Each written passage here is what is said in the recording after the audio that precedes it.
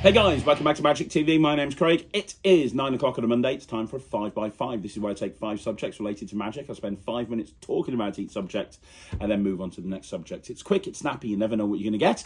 And today we're going to be doing another one of the uh, sleight tutorial specials. Uh, the first one we did was on forces with cards. That was very well received. The second one we did was on... Um, uh, controls with cards. Today we're doing coin vanishes. Five coin vanishes you might not have seen before. I'm not going to go into finger palm vanishes. I'm not going to go into classic palm vanishes. I'm not going to go in retention pass vanishes or anything like that. I'm going to go through five vanishes that you might not have seen before that are really cool and well worth learning. Uh, I, I really believe that you should learn as many vanishes as you can. So this is a tutorial special. I'm going to teach you five vanishes that I use in the real world all the time that are perfect for different situations. And during the course of the tutorial, I'll explain exactly the best place to use this. The first coin vanish we're going to look at is a modified French drop. And this is the way that I've done the French drop for many, many, many, many years. And if you know the classic French drop, that's the classic French drop. It's a fantastic way to vanish a coin. Um, and, you know, it's, it's been done for years for good reason. It's a great way to vanish a coin. Um, the modified way of doing it is like this. It's kind of uh, showing the coin, uh, coming in and making it vanish. And it's very similar, but there's a couple of distinct differences that I think make a big difference with this. So let's talk about it. So the first thing is the classic French drop is held in this position, in sort of a spellbound position. And you bring your hand over when your fingers are covering, you allow that coin to drop down to that position, right? That's how the classic French drop's done. Um, you cover like this and then you bring your hand away as if it contains the coin. This stays here and then your hand drops. Okay, that's the classic French drop. Um, this is taken from a different angle. So this is taken from this angle here, like this, okay? So it's held almost uh, against the edge of the forefinger with the thumb. Now, holding it in this position, you can still drop it and it'll still drop into finger palm. So there's no difference in terms of allowing it to drop, but um, but I actually prefer that look. Um, and then when you vanish it, when your fingers come over, notice I keep my fingers open for the uh, right up until the last second. So my fingers come over, my fingers stay open, and then as my fingers close, I drop the coin. So from this angle, my fingers come in, and as the fingers close, that's when the coin drops, and that's when I take the coin away. And so it almost becomes a little bit of a retention vanish because you see that coin right up until the very last second. Now, a couple of things about making this vanish deceptive. The first thing is, and this is one of the big mistakes I see people make when they do the classic French drop, is they make a they do this and they worry about holding a coin secretly in their hand. So when they come to take the coin, they make a fist like that and they drop their hand down to the table, or even worse, they do this. Um, and you see it, actors in movies, they kind of do this sort of thing. Notice with the classic French drop or with this version that I'm going through with you now, notice my hand doesn't move. So I come over to take the coin, my hand stays in this position like this. Now I look at this hand and I focus my attention on this hand. And when everyone else's attention is focused on this hand, then this hand can move out the way. Because the problem is if I move this hand too early, everyone's attention is going to go there. Even if I move it slowly, everyone's attention is going to go over there. Imagine I've got a frame of action right here around my head, and the coin is being displayed right there inside the frame of action. What happens is when I take the coin, I'm going to shift the frame of action over to this point over here. When the frame of action is shifted over here, this hand drops. And the reason I look over here is because that's the best way to focus people's attention to this hand. If I did the vanish like this and looked over here and then made it vanish, it's a lot more deceptive than looking down here at where the coin actually is, right? So you want to look at where the coin is meant to be. So again, it's taken from this angle. You look here, you come over, your fingers are open, you close your fingers at the last second, this hand stays here and then drops down naturally when everyone looks over here and then you do the vanish. So that's the modified French drop. Very easy to do. Remember, you just do that. Practice that about 20 times. That's your secret move. Practice that about 20 or 30 times, just allowing the coin to drop. Then practice actually taking the coin about 20 or 30 times. Just come in, take the coin. Come in, take the coin. So you know what it's meant to look and feel like. Because when you do the vanish, which is like that, it should look exactly the same as when you actually take the coin. There should be no difference between actually taking the coin and between doing the, the vanish. It should look exactly the same. This I've been doing this since I was about 18, 19 years old. Now, I talked about this first in uh, an ebook called Born a Freak that I bought out many, many years ago. It's called the slide vanish, and it's a very easy way of getting a retention on a coin vanish. So in other words, I'm just allowing that coin to slide down my fingers and into the hand, at which point it vanishes. It just literally slides down into my hand and then vanishes. Now let's talk about how that works. Now you start off with the coin almost in a classic palm position. Now you're not classic palming the coin, but it starts off in an open classic palm position. Now what's going to happen here is you're going to allow that coin to drop down your fingers like this. So the coin just slides down your fingers. And that happens by tilting the hand downwards. So that's kind of your secret move. The hand just tilts downwards and the coin just slides down the fingers like this, okay? Now the positioning of this left hand is very important.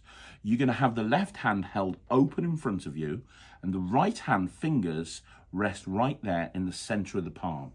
So that when the coin slides down, it apparently slides down into this hand, but in reality, it's staying in a fingertip rest. Uh, fingertip rest is when the coin is held here at the tips of the fingers. It's a great grip to hold a coin in because you can very easily go to thumb palm, you can flip it back and go into finger palm, or you can push it directly into classic palm, which are the three main palms. Oops, there you go. So it's here, it drops down. Now watch what happens when it slides down like this. The left hand is going to turn over and notice the thumb pushes against the forefinger. It's going to turn over to grab the coin. Now, as it comes away, all it's, it's not really doing anything. It's not grabbing anything. But as it comes away, the right hand just curls in. It's just doing that. So the right hand isn't moving the coin into any position. It's just rotating backwards like this. So you allow the coin to slide. That's really important you do it all in one move. So you don't want to go slide, wait, turn, wait, rotate. It's all one move. It's all like that. Now, the reason it has a retention to it is because this coin moving down causes retention. They just, their eyes fill in the gap and it makes it look like it just ends up in this hand. Now, the nice thing about this move is it is completely angle proof. So what I mean by that is if I do it from this angle, you don't see anything. If I do it from this angle, you don't see anything. If you were behind me looking down, and I've taught this in lectures and I've had people walk all the way around me, if you were looking me down, you wouldn't see anything. It just looks completely angle proof from every angle. So it literally just slides in and then you come up here and you just take it and you just vanish the coin. And again, notice the eyes are looking up here, exactly the same as the modified French drop. It's not like I'm looking down here at the coin, I'm looking up here at where the coin is meant to be. Okay, but it's very, very simple. You just slide it down, it hits here, and then you rotate your hand. But it's really important that you rotate. If that thumb isn't there, you can see what's going on. So you rotate, make that grabbing motion, as this hand turns in. Just practice this. Both hands rotate. This hand rotates like this. This hand rotates like this. You combine the actions and it looks like it's vanished. Okay, so let's have a look at a way of actually using Goshman pinch to get the coin into Goshman, uh, Goshman pinch or Tenkai pinch, right? So um, this is what it looks like. You show the coin and you just come here and you vanish it. Then you can shake and you can make it come back. How'd that look, Jack? That look okay? Oh, how'd you do that? Woo, there you go. You just do that, okay? So that is the vanish. Now let me explain how what's happening here, okay? What's happening is you're putting the coin into Goshman pinch or Tenkai, uh, Tenkai pinch. Now normally when you do this move, um, how, how you're taught how to do it in all the books is this. You're taught to hold the coin between your thumb and your fingers and rotate it here and then the little finger grips that coin. That's Goshman pinch, by the way. Goshman pinch is, or Tenkai pinch is pinching the, the coin in that position. And then it, your hand looks empty. Um, and, and your little finger is holding that coin in that position. It's a nice grip to use because you can, you can um, retrieve the coin very easily, right? But what most people do is they will take the coin and they will roll it around the back of their fingers and pinch the coin there like that. So if you're going to do a vanish, you have to vanish the coin using whatever method, keeping it in this hand. And then as you open up the hand, you've got to put that into Goshman pinch. So it's kind of like a two-phase thing. It's like, right, I'm going to do a vanish, and now I'm going to push it into Goshman pinch. I'm going to do a vanish, now I'm going to push it into Goshman pinch. Um, the way that I do it, I'm not doing the vanish. Everything's happening at the same time. Now, in order to do this, you're going to put the coin into Goshman pinch in a slightly different way. what you're going to do is you're going to put the coin in that position. It's on your middle finger and your ring finger. Now what's going to happen here is you're going to put your thumb onto the right edge of the coin and the ring finger and the little finger are going to come over. The ring finger is going to go on the top of the left edge of the coin. The little finger is going to go underneath the left edge of the coin. And then as soon as they're gripping it, these fingers come around the front, come around the top, sorry. So it's here, here. Now notice the thumb is here. If the thumb's not there, it would be very impossible to do. So the thumb holds this coin as this hand grips it in the left-hand edge. So again, the thumb is here, the ring finger comes along the top, the little finger goes at the bottom, and then these fingers just come over the top. Can you see that there, Jack? Yep. There, there. That's exactly what's happening. Here, here. Now, if I just did that vanish in front of people, it wouldn't look very impressive. So there's two ways to make this deceptive. Now, the first way is to give it a shake. Uh, because if I shake that, that as I, as I do the vanish, if I shake it, it kind of looks like it disappears off the hand. So you could just say, look, I'm going to shake this coin, and as I shake it, it vanishes. However, that's not what we're trying to go for here. We're trying to make it look like we pick the coin up in this hand and it just vanishes. We pick the coin up in this hand and it just vanishes. Now, the way around that is to come over with the left hand and take the coin away, apparently. But you're not taking anything. you're pantomiming this. You're pretending to take the coin, but really, you're not taking anything. Now, this hand does a backwards and a forwards motion. Um, to make it look, uh, you know, it does a backwards and a forwards motion, but that happens as you come to take the coin. As I come backwards, my thumb comes on the coin and I start the vanish. As I come forwards, my hand comes over as if it can as if it takes the coin. This hand is left with the fingers open like this, uh, or the you know the hand palm up. So the whole thing looks like that. Now you do it right, you get a nice retention. You do it right, you get a really nice retention. So it's look, I'm going to show you a trick with the coin. Watch the coin. Now Goshman pinch. This is not the video about what to do with Goshman pinch, but there's so much you can do with it. So for example, I've got a whiteboard marker here. Um, if I do this vanish and I take this, uh, this coin and I tap and I make the coin go here, obviously it's still in Goshman pinch. I can then take the cap off and I can shake it out the lid. And Goshman pinch allows me to do that very, very easily. So I can do the vanish, take the pen, tap, and I can take the lid off the pen and shake the coin out. So that is Goshman pinch. That is a way of doing the vanish, doing a Goshman pinch or a Tenkai pinch vanish um, with a coin and a nice way to retrieve it. Okay, so the next one is, and I don't see many people doing this. I use the coin roll an awful lot in my uh, in my work. And by the way, if you want to learn some amazing work with a coin roll or a steeplechase flurry, then go check out Kiona Harbottle. He's got some amazing stuff on it. But um, one thing that I've done since I was a kid is I've done a vanish as part of a steeplechase flurry. Um, so I'm, I'm doing this, and I really, when I'm doing coin magic, I love doing this. For me, it's the same thing as doing a fancy shuffle with a pack of cards. It shows people that uh, you know you're a professional and you know what you're doing. And so I do the steeplechase flurries a lot uh, in my coin work, especially right at the beginning. Um, and I, I will throw a vanish in like that at some point, and it looks very deceptive. Now, if you know the coin roll or the steeplechase flourish, all that's happening is when you get to this point where you would take the coin around, put it onto your thumb and bring it back around again, all you're going to do is you're just going to not actually take it around. Instead, you're just going to do that. And you're just going to pinch the, the coin between the little finger and the ring finger. It's not quite a Goshman pinch, but it's kind of close and I'll vanish the coin like that. And what I'll do is, as I do it, I'll turn my hand over as if I'm dropping the coin into this hand. So it looks like this. It looks like I'm just dropping the coin in the hand and you get a nice little retention of that coin going into the hand. And then vanish the coin. Now you can't retrieve it very easily from this position because it's kind of in a full pinch. So what I'll do at that point is I'll transfer it into my left hand on the offbeat.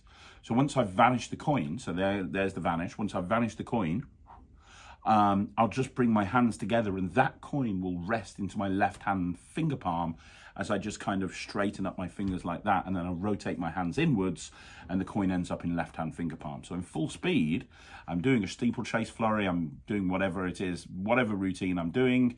I then do the vanish, vanish the coin, and then I transfer it into the left hand, at which point I can do whatever I want with it. But it's just the idea, if you already do a steeplechase flurry, if you already do a coin roll, having this moment here where you can pinch the coin as you apparently drop it into this hand it becomes very, very deceptive. It's a really nice vanish. So uh, I don't know the origins for that. I That was one of the first things I ever learned. I think Brad Henderson taught me that back when I was 18 years old. It's a very uh, old move. I've just done it my entire life. As I say, if you want to look into some really nice sequences with the steeplechase flurry, you definitely want to look at Kiona Harbottle. But this particular vanish is, uh, is as old as the hills, and it's a really nice way to vanish a coin. Okay, so the final uh, coin vanish we're going to be looking at is uh, using back thumb palm. This is technically not a coin vanish, it's a coin steal. Um, but I wanted to go through it with you because it's something I came up with for a three coins across routine that at some point I'll publish on the Netrix. And uh, it's a really strong routine. But this is uh, how I make the first coin go across. And uh, there's so many different ways of getting into back thumb palm. You know, uh, one of the best ways that I've used for many, many years is balance palm by, uh, uh, is it Jason Dean? I think it might be Jason Dean. Balance palm. But um, uh, for, for how I wanted to construct this coins across, I needed a different way to get into it. And this is a great way because normally with back thumb palm, by the way, th back thumb palm, just so you know, that's normal thumb palm. Back thumb palm is holding the coin behind your hand. That's back thumb palm.